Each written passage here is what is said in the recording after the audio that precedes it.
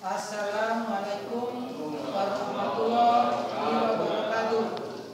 Deklarasi anti hoax demi terpeliharanya persatuan, kesatuan, keamanan dan ketertiban dalam kehidupan bermasyarakat dan berbangsa, maka kami dari Takmir Masjid RK Sutagaran dengan ini menyatakan satu kami mendukung Polri terhadap penangkapan para pelaku hoak baik dari kelompok MCA maupun yang lainnya yang dapat memecah belah persatuan dan kesatuan bangsa.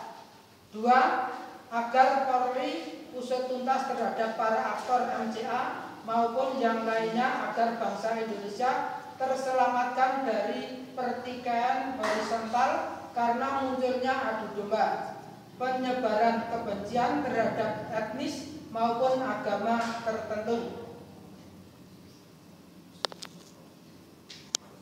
Wassalamualaikum